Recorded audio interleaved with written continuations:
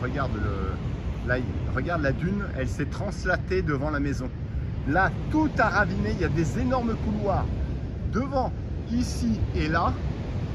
Ici, devant cette maison, des énormes couloirs. Il n'y a plus de dune, tu es sur la plage directe. Les piquets sont sur la plage. Énorme, regarde, tout ça là, ça a raviné. Et la dune s'est translatée là, elle tient pas. Moi, je suis content d'avoir fait mes renforts, hein, je peux te dire, avec les palettes et tout.